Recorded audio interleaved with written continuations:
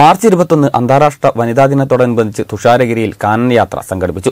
കോഴിക്കോട് വനം ഡിവിഷൻ താമരശ്ശേരി റേഞ്ചിന്റെ നേതൃത്വത്തിൽ തുഷാരഗിരിയിലാണ് കാനനയാത്ര സംഘടിപ്പിച്ചത്.